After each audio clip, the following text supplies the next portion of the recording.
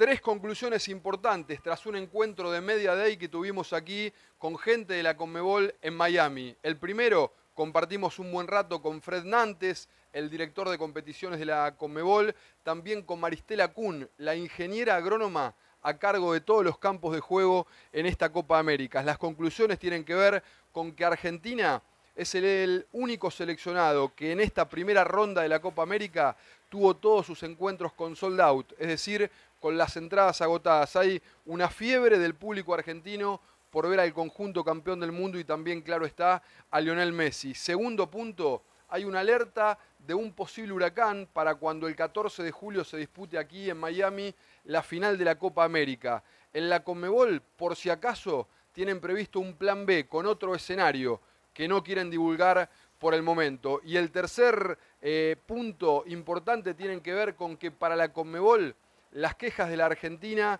tras el partido en el estadio de Atlanta, en el Mercedes-Benz, en la victoria contra Canadá, en el debut en la Copa América, esas quejas se debieron solamente a una cuestión estética del campo de juego porque asume Comebol y asegura Comebol que el campo de juego estaba en buenas condiciones y lo que no les gustó a los jugadores argentinos fue que sobre todo las uniones de los panes se notaban cuando uno